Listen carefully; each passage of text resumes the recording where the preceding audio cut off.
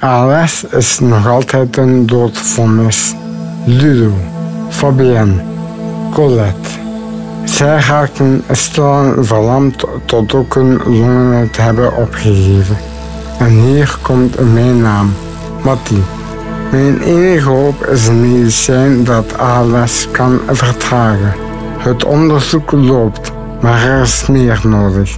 Doneer nu op vertraagals.be.